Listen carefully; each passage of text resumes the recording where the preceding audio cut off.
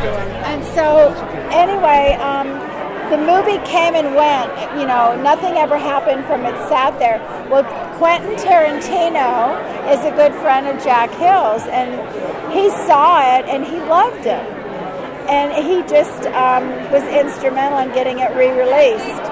So they just remastered it, and um, Yeah. they showed it on the Turner Classic Films um, a couple months ago. Yeah. But it was so much fun to do. And you Did you know, work with uh, Jack Hill after that? I did another movie with him called Pit Stop with Brian Donlevy and Ellen Burstyn. But at the time, she went by Ellen McRae, but she became Ellen Burstyn. But these are some of the.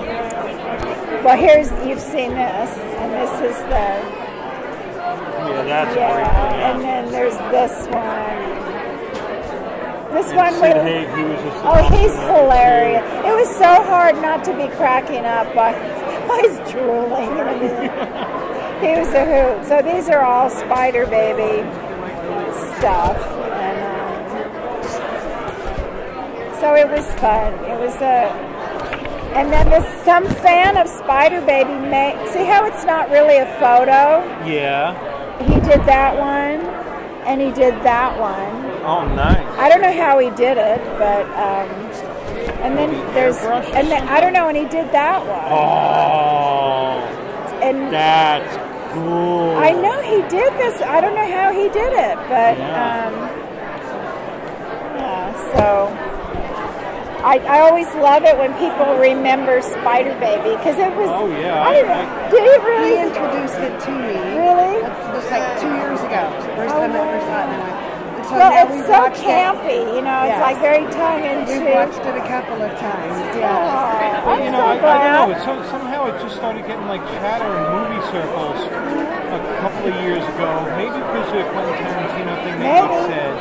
And yeah, and when I finally watched it, it was like, you know, God, you know, it's Jack Hill and look at the cast as And well. Sid Lon Haig, I know, he's You know, hilarious. all of that. And, And Lon Yeah. And yes, I it was, I loved him.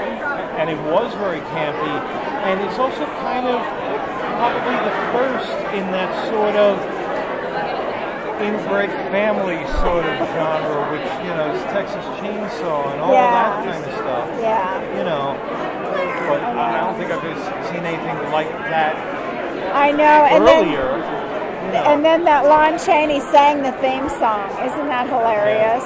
Was- how drunk was he? Well, it was in his contract that he had to go get a drink every afternoon in his trailer, otherwise he'd get the shakes.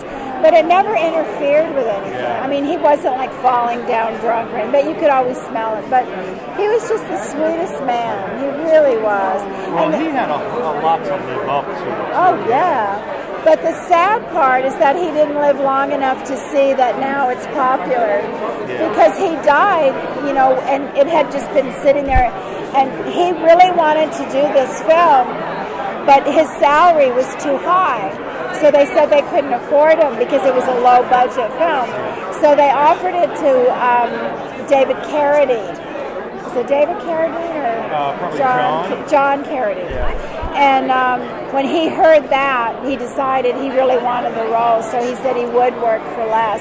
Because he really loved that role, and he was so perfect in it. Yeah. And it's like in this scene where he's crying, those were real tears. They didn't have to put fake tears on. It, maybe maybe it reminded him a little bit of when he did For Mice and Men, Maybe, because the themes are kind of, yeah.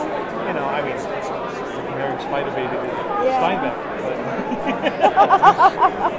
you know, but it, it does have similar themes, and that you know that was probably like his crowning achievement Yeah. throughout his career. Although I see what.